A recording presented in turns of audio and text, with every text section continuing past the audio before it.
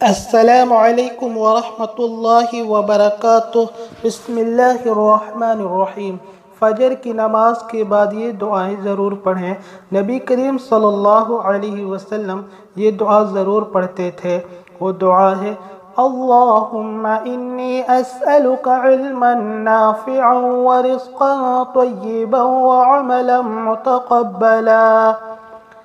حسبي الله لا إله إلا هو عليه توكلت وهو رب العرش العظيم. الله أكبر كبيرا والحمد لله كثيرا وسبحان الله بكرة وأصيلا. بسم الله الذي لا يضر مع اسمه شيء في الأرض ولا في السماء وهو السميع العليم قل هو الله أحد الله الصمد لم يلد ولم يولد ولم يكن له كفوا أحد